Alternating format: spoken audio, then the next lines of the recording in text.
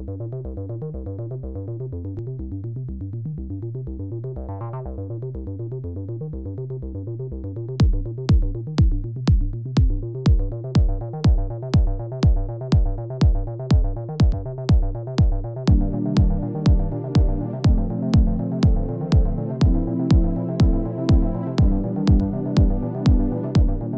to this overview of the brand new update for MPC Live X, One and Desktop version 2.8, bringing some of the most compelling features to our MPC standalone and desktop software platform. We now have integrated MIDI Multi, turning your MPC into the heart of any studio or live performance by allowing you to connect up to 32 USB devices that you can now control directly from your MPC. From iconic synthesizers to drum machines to USB compliant keyboards, they can all now be plugged into a USB hub and controlled from the MPC hardware. So why don't you join me and let's have a closer look at the brand new update for MPC version 2.8.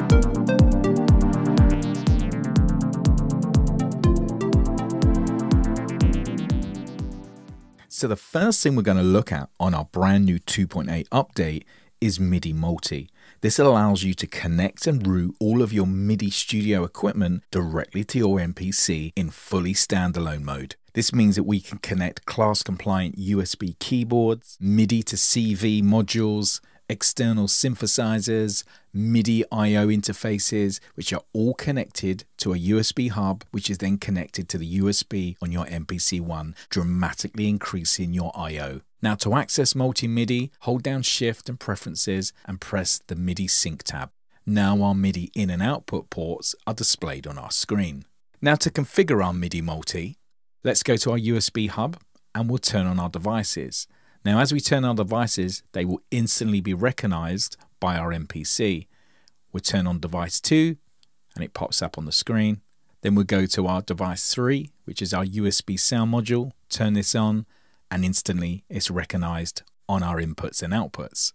Now we can customize our names in our inputs and outputs by simply pressing the keyboard icon. So let's take our MIDI interface, which is connected to our MiniNova. And once you've changed the name, simply press OK and now that will update in our main screen. Now to configure our MIDI multi, we have a number of options. Now when track is on, that means our device is active and it will appear in our list of MIDI inputs. Then we have control. This means our MIDI port will be sent to our MIDI learn. Then we have master. When on, the MIDI from this port will always go to the current track. So as an example, I would set my USB keyboard to master, which means that every time I select a track, my keyboard will be able to play back that device. So now I'm playing back my MiniNova. We can switch our track and go to a key group. And my keyboard will always be the master. Then we have our output ports. Now this has track on, which means that the MIDI port will appear in our list of available track MIDI outputs, and then we have sync on and off. Now this will allow us to synchronize units such as drum machines, external arpeggiators with our MPC. Now to configure our MIDI inputs and outputs on MPC, let's go to our track view. Here we can view all of our MIDI information. We can see the type of track that we have and the track name. Then we have our MIDI inputs, which we can configure by double tapping our screen and then you can select your MIDI inputs. Then we have the same on our MIDI outputs, simply double tap and then we have our record arm status. Now for single track recording, simply highlight the record button. For multi-track recording, hold down shift and then simply press the tracks that you want to record simultaneously. Then to come out of multi-record, simply press the record arm. MIDI tracks also have an input monitor button with four different monitoring types. When set to off, this is ideal when using MPC to sequence a workstation keyboard when local is set to on, delivering a faster and accurate playback response. Then we have track monitor in. This always monitors the track's input regardless of the track's record arm state. This is useful when using MPC to trigger an external sound module. Then we have auto, which is our default monitoring mode. You would generally find this works for most recording applications. And then finally we have merge, which always monitors the track's input regardless of the record arm.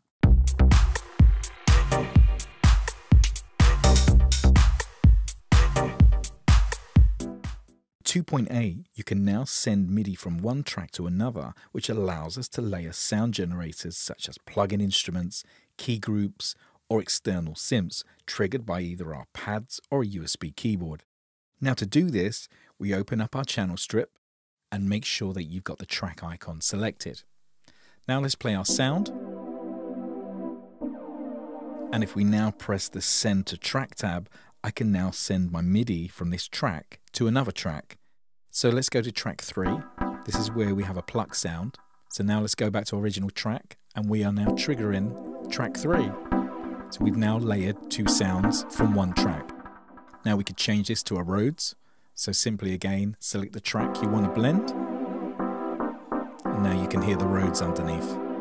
Now we can also copy this process to trigger even more tracks. So if we go to our pluck sound and then we go to our send MIDI, let's trigger another instrument from this track. And now if we go back to our original track, we are now triggering all three instruments from one track. If you repeat this process, you can keep on layering more instruments. Now we can also trigger external keyboards this way.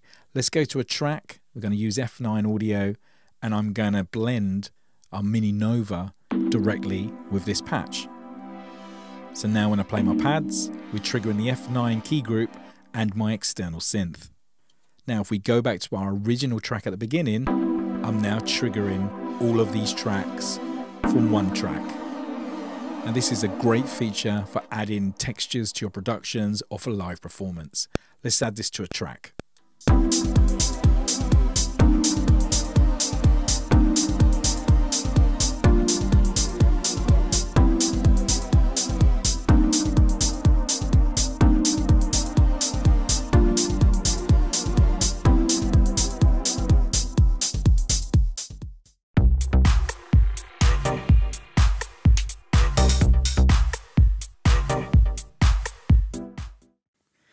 Can now create your own chord progressions directly in standalone mode using 2.8.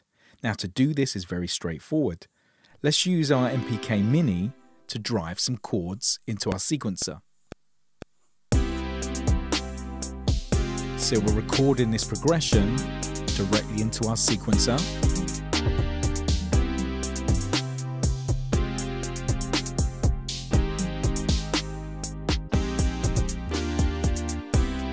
now that we've recorded our chords, go to our grid edit, and here we can see what we've recorded into our timeline.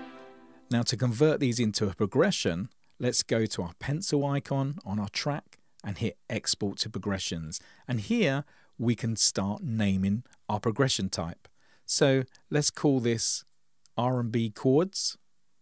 Now once you've named your progression type, simply press do it then below this, you can set your root note. So you might want to set up a C3, C2, etc., etc. Then next to that, you can set your scale type, if it's a major, minor scale. Then below this, we can go to our individual chords that we've created. Now MPC will auto detect the chord for you, but you can customize these. Then below that, you can set up what will be your main root chord. Now you can also preview each chord so you can then decide which one will be your root. Now that's all completed, simply press do it, and now we've saved our progression. Now to access the progression in our notes mode, hold shift and notes, go to progressions, and then go to our R&B chords.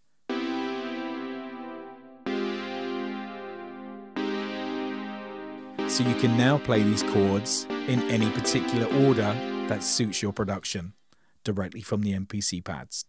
Now the great thing about this, we can now switch out the track, change a different sound, and then play these chords directly. So now let's add this over our beat.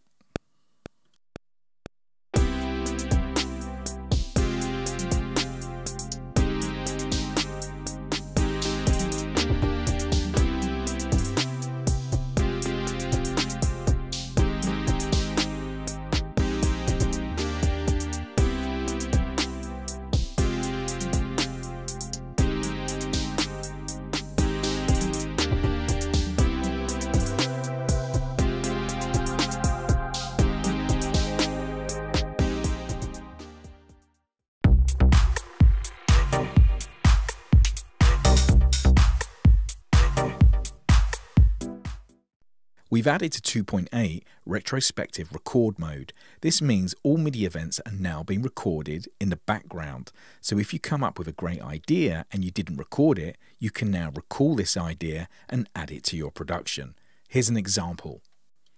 So I'm going to trigger a melodic sample and I'm going to play some ideas directly over the top from my pads. But I'm not recording.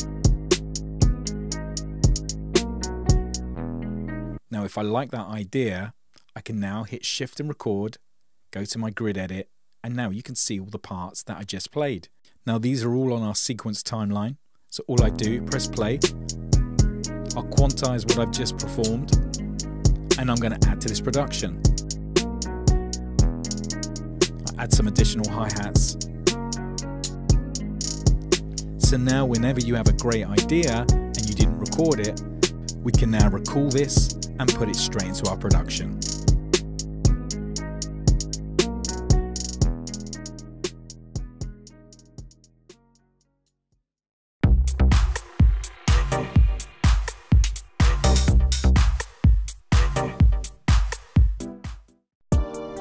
Inside 2.8, we've added text information overlay to our Q-Links, giving you instant parameter feedback.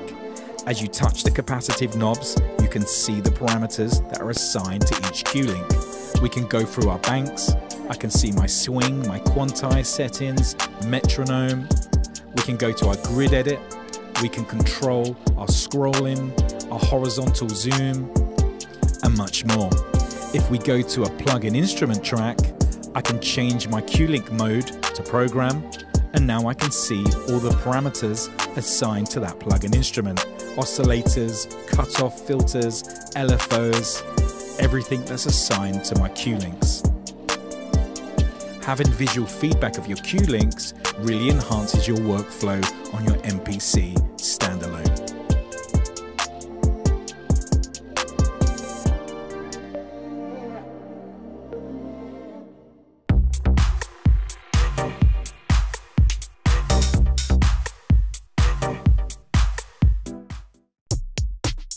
Inside 2.8, we've now enhanced the way that you can use pad performance and notes mode. This is now available in our main mode, so you don't have to jump between screens. Now we can simply preview any of our patches directly by still being in our notes and performance mode. We can jump from key groups to plug-in instruments and audition all of these patches by playing chords, scales, or melodies. Once you find the patch you like, simply hit record and then start editing your patch, all within the main window. Now to change your pad performance mode, simply go into the parameter, press the mode that you wish to use, chromatic, chords, scales, etc. and then go back into our main workflow window. Now that mode is accessible in our main workflow.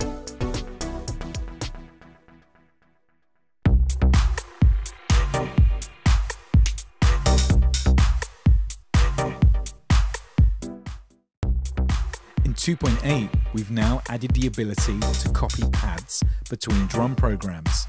Now to do this, simply go to the pencil icon and then press the copy pad tab and now we can select our pad and we select the kit that we want to copy the pad to and then we can select a pad within that program. Press do it and you've now copied the pad to a different drum program. You can now create custom note mappings for any program types. Press the edit map tab and now you can select the pad. Once selected, we now go down to the MIDI note and select the note you wish to change the mapping to or you can use one of the three presets available. You can now easily change tracks from any MPC mode. Simply hold down the main button to bring up the track and either use the touch UI or the pads to jump between tracks. Now under our quantize, you now have the ability to turn quantize directly on and off either from the touch UI or directly from the dedicated button. Simply hold down shift and turn quantize on and off. We've also updated the behavior of the automation button, which has now been modified, allowing read and write only. Holding down shift and pressing the automation button will now turn automation off. Under our TC field, in the arpeggiator option, you now have radio buttons dedicated to the different time divisions.